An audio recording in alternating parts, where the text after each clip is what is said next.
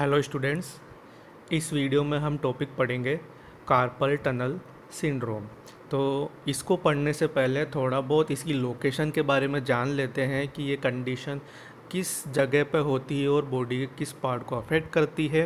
तो आपने carpal tunnel के बारे में सुना होगा, ये एरिया कहाँ प्रेजेंट होता है? तो ये एरिया प्रेजेंट होता है हमारे रिस्ट एरिया में, यानी जो हमारी कलाई होती है रिस्ट होती है, वहाँ पे प्रेजेंट रहता है। जैसा आप यहाँ डायग्राम में देख रहे हैं, ये जो स्ट्रक्चर है, ये हमारा पाम साइड ऑफ़ हैंड है, यानी हमारी हथेली का साइड का एरिया है, ठीक है?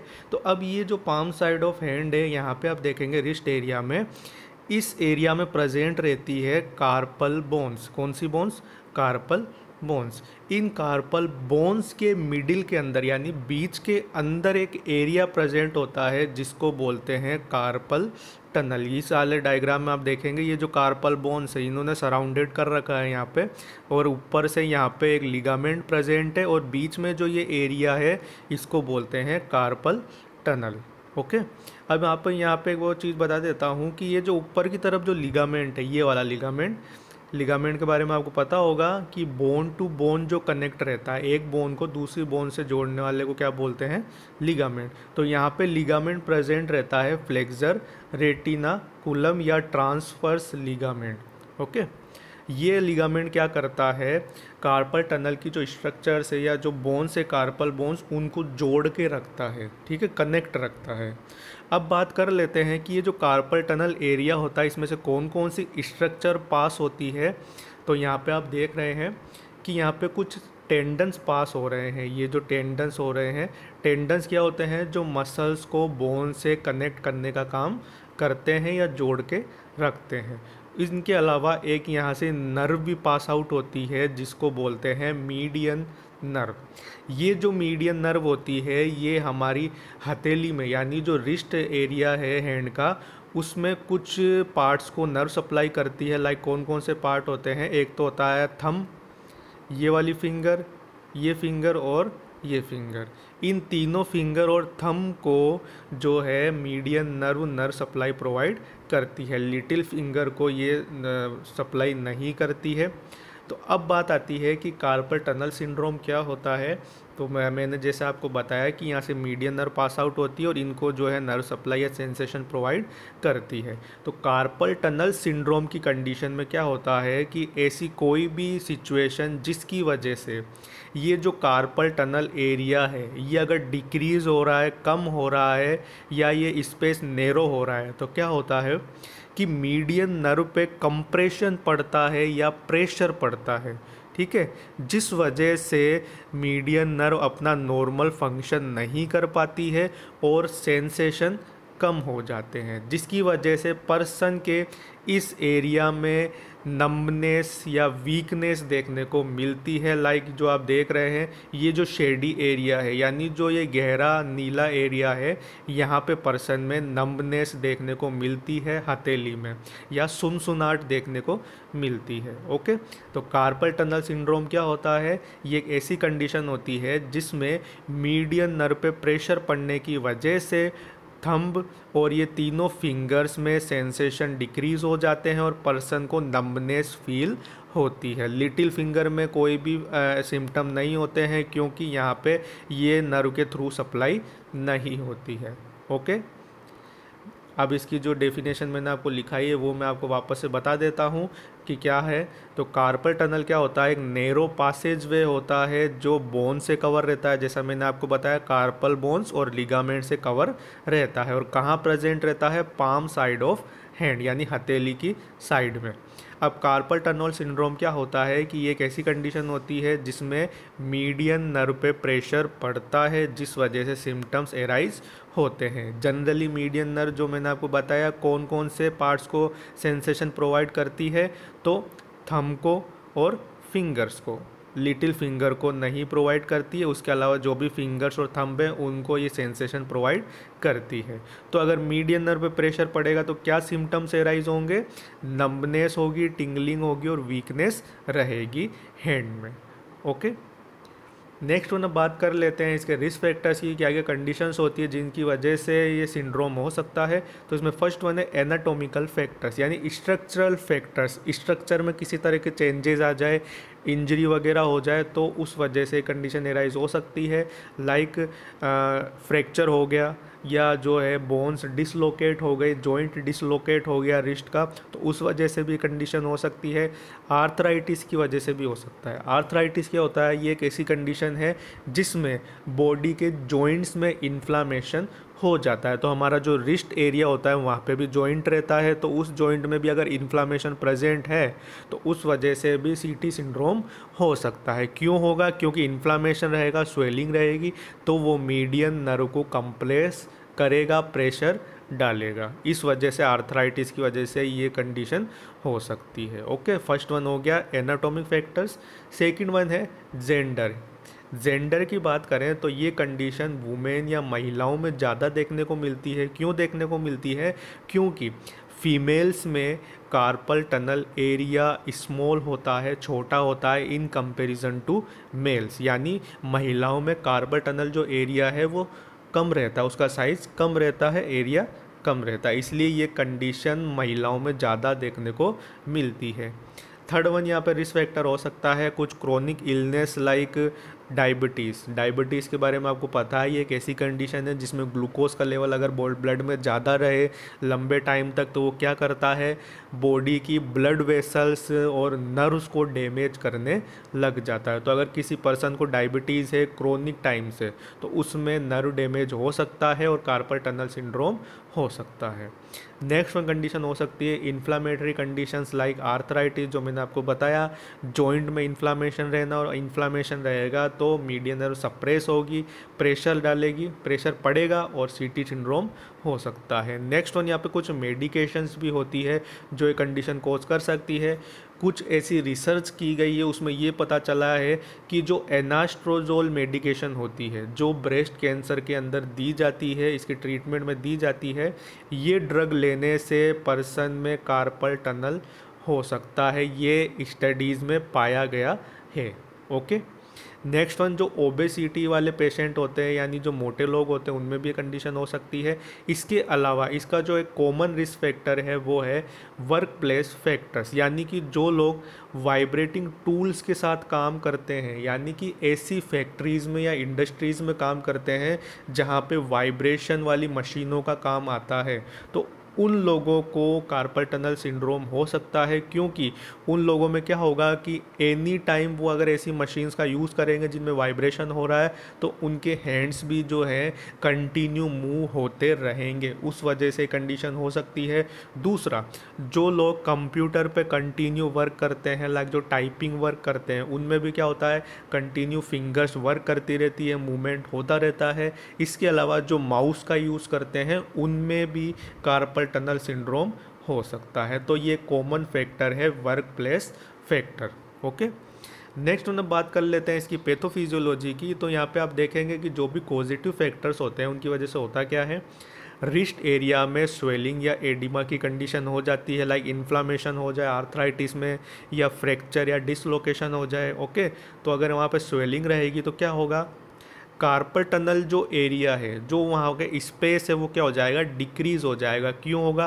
क्योंकि स्वेलिंग होगी स्वेलिंग होगी तो मसल्स क्या होंगी? स्वेल हो जाएगी तो वो जो कार्पल टनल एरिया है, वो डिक्रीज़ होगा। अब अगर ये कार्पल टनल एरिया डिक्रीज़ होगा तो मीडियन नर्व पे कंप्रेशन पड़ेगा, प्रेशर पड़ेगा। और जैसे ही प्रेशर पड़ेगा तो जो नर्व फाइबर्स होते हैं, वो ब्लॉक हो जाएँगे, यानी कि जो नर्व सिग्नल्स है, वो वहाँ से ट्रांसफ़र नहीं हो पाएँगे, सेंसेशन ट्रांसफ़र नहीं हो पाएगा, जिस वजह से सेंसेशन कम हो जाएगा और पर्सन के हाथ में नम्बनेस जैसे सिम्टम्स देखने को मिलेंगे, जिस कंडीशन को अपन बोलेंगे कार्पल टनल सिंड्रोम ओके समझ में आ गया? नेक्स्ट उन्हें बात कर लेते हैं इसके बाद साइन एंड सिम्टम्स की। तो यहाँ पे जो कॉमन सिम्टम देखने को मिलते हैं लाइक टिंगलिंग और नम्बनेस रहेगी पेशेंट के हाथ में। अब जो ये नम्बनेस रहती है कहाँ पे रहती है? जैसा मैंने आपको बताया थंब में इंडेक्स मिडिल और रिंग फिंगर में सॉरी और जो लिटिल फिंगर है, उसमें कोई भी सिम्टम्स अपेयर नहीं होंगे, वो अनअफेक्टेड रहेगी। क्यों? क्योंकि मीडियन नर्व लिटिल फिंगर को सेंसेशन प्रोवाइड नहीं करती है, इसलिए नंबनेस सेंसेशन या टिंगलिंग जो है, कहाँ पे पर प्रेजेंट रहेगी? थंब इंडेक्स मिडिल और रिंग फिंगर में। इसके अलावा पर्सन को इलेक्ट्रिक शॉक लाइक सिम्टम्स भी अपियर होंगे, यानी जो नंबनेस रह रही है जिन फिंगर्स में, उनमें कभी कभी ऐसा लगेगा जैसे इलेक्ट्रिक शॉक लग रहा है ओके अब ये सिम्टम्स कब अपियर होंगे? जब पर्सन किसी भी ऑब्जेक्ट को होल्ड करके रखेगा, यानी पकड़ के रखेगा किसी भी ऑब्जेक्ट को, तब ये सिम्टम्स अपियर होंगे लाइक स्टेयरिंग व्हील ड्राइविंग कर रहा है स्टेयरिंग व्हील पकड़ रखा है होल्ड कर रखा है तो उस टाइम में सिम्टम हो सकते हैं। फ़ोन, न्यूज़पेपर, ग्लास, कोई भी चीज़ को अगर होल्ड कर रखा है, उस टाइम ऐसे सिम्टम्स एपियर होंगे ओके इसके अलावा पर्सन के हैंड में वीकनेस रहेगी, यानी जब भी वो किसी ऑब्जेक्ट को ग्रिप करेगा होल्ड करेगा तो वो उस पर मतलब ऑब्जेक्ट को ड्रॉप कर देगा, गिर जाएगा उसके हाथ से। क्यों? वीकनेस की वजह से। अब ये वीकनेस क्यों होती है, ये भी मैं आपको बता देता हूँ, क्योंकि मीडियन नर्व सेंसरी सेंसेशन के साथ साथ मोटर सेंसेशन का भी काम करती है, यानी कि जो हैंड की मसल्स होती है, उनको मोटर सप्लाई करती है, यानी उनके मूवमेंट में हेल्प करती है। तो अगर मीडियन नर्व में प्रेशर रहेगा तो मोटा सेंसेशन भी वर्क नहीं करेगा, जिस वजह से मस्कुलर वीकनेस रहेगी और पर्सन जो भी ऑब्जेक्ट होल्ड करेगा, वो उसके हाथ से गिर जाएगा। समझ गए? ओके। नेक्स्ट वन अब बात करें इसके डायग्नोसिस की तो यहाँ पे हिस्ट्री कलेक्ट करेंगे प्रेजेंट पास्ट मेडिकल हिस्ट्री इसके अलावा फ़िज़िकल एग्जामिनेशन करेंगे, जिसमें हैंड का जो है ग्रिप मूवमेंट देखेंगे ओके इसके अलावा एक्सरे कर सकते हैं, जो कि इमेजिंग टेक्निक है, जिससे आइडेंटिफाई हो सकता है। इसके अलावा इलेक्ट्रोमायोग्राफी भी कर सकते हैं, जैसे ईजी होता है ईसीजी होता है इलेक्ट्रोकार्डियोग्राफी होता है इलेक्ट्रो होता है, वैसे इलेक्ट्रोमायोग्राफी भी होता है, जिसमें मसल्स की इलेक्ट्रिकल एक्टिविटी को एसेस किया जाता है। इसके अलावा नर्व कंडक्शन स्टडी कर सकते हैं, जिसमें नर्व जो फ़ंक्शन कर रही है, यानी उनका जो कंडक्शन हो रहा है, वो किस तरह से हो रहा है, उसको एसेस करने की स्टडी को बोलते हैं nerve conduction study okay next one इसके बाद ट्रीटमेंट की बात कर लेते हैं तो यहाँ पे सबसे पहले नॉन सर्जिकल थेरेपी की बात कर लेते हैं, यानी मेडिकल ट्रीटमेंट की। तो यहाँ पे जो कार्पल टनल सिंड्रोम वाला पेशेंट होता है, उसकी रिस्ट में स्प्लिंट का यूज़ किया जाता है। अब ये स्प्लिंट क्यों लगाया जाता है? ये स्प्लिंट इसलिए लगाया जाता है कि जब भी पेशेंट अगर सो रहा है तो सोते टाइम क्या होता है कि हमें पता नहीं रहता है तो हाथ क्या हो सकता है? कहीं भी प्रेशराइज हो सकता है, दब सकता है और सिम्टम्स एपियर हो सकते हैं। तो स्प्लिन का यूज़ किया जाता है उस हैंड को होल्ड करने के लिए, ठीक है? तो स्प्लिंट क्या होता है? ये डायग्राम में मैं आपको दिखा देता हूँ। इस तरह के जो स्प्लिंट होते हैं, ये पर्सन को दिए जाते हैं। जो पर्सन यहाँ पे पहनता है, इसे क्या होता है? हाथ अपनी पोजीशन में ही होल्ड रहता है और सिम्टम्स अपियर नहीं होते हैं, ओके? इसके अलावा जो ड्रग्स भी यहाँ पे दी जाती है एनएस ड्रग्स यानी non steroidal anti inflammatory drugs and corticosteroids ये दोनों ड्रग्स क्या करती हैं? ये इन्फ्लामेशन को कम करती है और पेन को कम करती है ओके इसके अलावा अब बात कर लेते हैं सर्जरी की।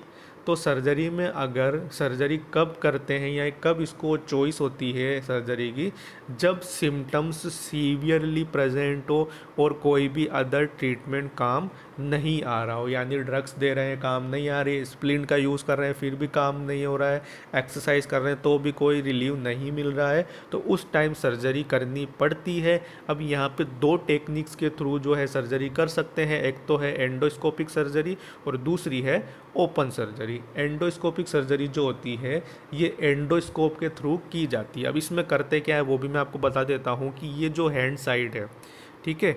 अब इसमें करते क्या है? चलो मैं आपको इसको डायग्राम के थ्रू बता देता हूँ, जो स्टार्टिंग में डायग्राम था। ये देखिए, यहाँ पे क्या करते हैं, एंडोस्कोपिक सर्जरी में यहाँ पे इंसीजन बनाए जाते हैं। कहाँ पे? यहाँ पे, ठीक है? यहाँ पे। अब इन इंसीजन से क्या करते हैं कि एक एंडोस्कोप को इंसर्ट कराया जाता है। उस एंडोस्कोप में कैमरा और लाइट लगी हुई होती है, जिसके थ्रू एक मॉनिटर अटैच होता है बाहर की साइड। उस मॉनिटर में डॉक्टर को सारा अंदर का जो स्ट्रक्चर्स है, वो दिखती रहती है, शो होती रहती है। फिर जब ये वहाँ पे पहुँचता है, उस एंडोस्कोप को इंसर्ट कराया जाता है, उस पार्ट तक, यानी इस कार्पेटनल एरिया तक। अब यहाँ पे आप क्या क्या किया जाता है कि ये जो लिगामेंट है जो लिगामेंट मैंने आपको बताया था फ्लेक्जर रेटिना कुलम या ट्रांसफ़र लिगामेंट इस लिगामेंट को यहाँ से कट कर दिया जाता है। क्या कर दिया जाता है? कट कर दिया जाता है। जैसे ये कट होगा तो जो मीडियन नर्व पे प्रेशर पड़ रहा है, वो ओपन हो जाएगा। ठीक है? ये लिगामेंट क्या कर रहा था? दोनों बोन्स को यहाँ से बाँध के रख रहा था। ठीक है? तो जैसे इस लिगामेंट को कट करेंगे तो जो भी यहाँ पे प्रेशर रहेगा, वो रिलीव हो जाएगा। तो इस सर्जरी को बोलते हैं एंडोस्कोपिक सर्जरी जिसमें कैमरा और लाइट को एक एंडोस्कोप के थ्रू अंदर इंसर्ट किया जाता है और लिगामेंट को जो ट्रोकर के थ्रू या सीजर्स के थ्रू कट कर दिया जाता है। ओके नेक्स्ट वन जो सर्जरी थी ओपन सर्जरी ओपन सर्जरी में क्या करते हैं कि यहाँ पे इंसीजन लगाया जाता है, चीरा लगाया जाता है कम्प्लीटली और इसको पूरा ओपन किया जाता है स्किन को यहाँ से और यहाँ से डायरेक्टली विजिबल तरीके से इस लिगामेंट को यहाँ से कट करके रिमूव कर दिया जाता है, जिस वजह से क्या होता है कि ये जो प्रेशर यहाँ पे पड़ रहा था मीडियन नर्व पे, वो रिलीव हो जाता है। तो दोनों सर्जरी में क्या करते हैं, इस लिगामेंट को रिमूव करते हैं कट करके। ओके? बट डिफरेंस इतना है एंडोस्कोपिक में इंसीजन कम होता है और ओपन सर्जरी में इंसीजन होता है, ओके? ये बात होगा इसकी सर्जरी की। नेक्स्ट हम बात कर लेते हैं इसके बाद इसके प्रिवेंशन की कि कैसे प्रिवेंट कर सकते हैं सिम्टम्स को। तो जो भी पर्सन है सीटी सिंड्रोम वाला, उसको ज़्यादा फोर्स नहीं लगाना चाहिए। यानी कोई भी अगर ऑब्जेक्ट को होल्ड कर रहा है या कोई भी वर्क कर रहा है, लिख रहा है या जो भी वर्क कर रहा है टाइपिंग वगैरह, उसमें ज़्यादा फोर्स नहीं लगाना चाहिए फिंगर्स पे। और जो भी हैंड ग्रिप कर रखी है आपने, किसी ऑब्जेक्ट को होल्ड कर रखा है तो उसको थोड़ा रिलैक्स करना चाहिए, ज़्यादा फोर्स नहीं लगाना चाहिए। दूसरा कोई भी अगर वर्क कर रहे हैं आप तो उसके बीच में ब्रेक लेना चाहिए। लाइक टाइपिंग कर रहे हैं तो उसके बीच में ब्रेक लें। कोई वाइब्रेटिंग टूल का यूज़ कर रहे हैं तो उसमें थोड़ा थोड़ा बीच में ब्रेक लें। पोस्चर को इम्प्रूव करना चाहिए। नॉर्मल पोस्चर मेंटेन करके रखना चाहिए। कंप्यूटर माउस को चेंज करना चाहिए। अगर आपको उस माउस में दिक्कत आ रही है, अगर वो कंफर्टेबल नहीं है तो आप दूसरा माउस चेंज करिए। उसके अलावा हैंड्स को आपको वार्म रखना है। क्योंकि, अब इसका भी मैं आपको रीज़न बता देता हूँ कि हैंड्स को वार्म क्यों रखना है। तो कार्पल टनल सिंड्रोम उन लोगों में ज़्यादा होता है जो किसी ठंडी एरिया में या कोल्ड एनवायरनमेंट में काम करते हैं। मान लो कोई ऐसा मतलब रूम है जिसमें एसी लगा हुआ है और वो टाइपिंग का वर्क कर रहा है उसमें। तो एसी से क्या होगा? कोल्ड एनवायरनमेंट रहेगा, ऊपर से वो टाइपिंग भी कर रहा है तो उससे उसके हाथों पर ज़्यादा इफ़ेक्ट पड़ेगा। तो अपने हैंड को हमेशा वार्म करके रखें। इसके लिए आप ग्लव्स पहन के काम कर सकते हैं। वो वाले ग्लव्स जिसमें फिंगर्स कवर नहीं होती है हैंड कवर रहता है। ओके तो ऐसे ग्लव्स पहन के आप काम करें जिससे हैंड्स जो हैं वार्म रहेंगे। ओके नेक्स्ट उन्हें बात कर लें इसके नर्सिंग केयर की। तो यहाँ पे क्या क्या केयर देंगे? लाइक जो पेन अगर हो रहा है पेशेंट को तो उस पेन की जो है duration location frequency and intensity को एसेस करना है। यानी कि पेन कितना हो रहा है, उसकी ड्यूरेशन कितनी है, कहाँ हो रहा है, कितनी फ्रीक्वेंसी में हो रहा है, कम हो रहा है, ज़्यादा हो रहा है, कितनी इंटेंसिटी में हो रहा है शार्प पेन है लो पेन है ओके ये सब एसेस करना है। पेशेंट को इंकरेज करना है अपनी फीलिंग्स को वर्बलाइज करने के लिए, यानी एक्सप्रेस कर करवाना है पेशेंट के लिए पेशेंट से पूछना है कि आपको पेन कैसा हो रहा है, किस तरह का हो रहा है। इसके अलावा पेशेंट से जो रेटिंग स्केल है, उससे पेन को एसेस कर सकते हैं। नेक्स्ट वन इसके बाद पेशेंट को इनक्रेज करना है रिलैक्सेशन टेक्निक्स का यूज़ करने के लिए लाइक डीप ब्रीथिंग एक्सरसाइज करवा सकते हैं पेशेंट से। इसके अलावा पेशेंट को टीवी दिखा सकते हैं म्यूज़िक के लिए लिसन मतलब म्यूज़िक सुना सकते हैं। इससे क्या होगा कि उसको माइंड में डाइवर्जन होगा डिस्ट्रैक्शन होगा। अगर डिस्ट्रैक्शन होगा तो उसको पेन भी कम होगा ओके नेक्स्ट वन इसके अलावा पेशेंट को सिंपल एक्सरसाइजेस के लिए बोलना है ताकि उसका जो पेन है प्रेशर है, वो कम हो। इसके अलावा पेशेंट को मेडिसिन प्रोवाइड करनी है, जो भी प्रिस्क्राइब की गई है। इसके अलावा पेशेंट को एडवाइस देनी है फॉलोअप केयर के लिए। अगर डिस्चार्ज होता है पेशेंट तो फॉलोअप केयर के लिए बोलना है कि आप टाइम टू टाइम ट्रीटमेंट के लिए आते रहें ओके तो ये टॉपिक कंप्लीट हो गया। आई होप आपको समझ में आ गया होगा। अगर फिर भी कोई दिक्कत हो तो आप मुझे कमेंट करके पूछ लीजिए। Thank you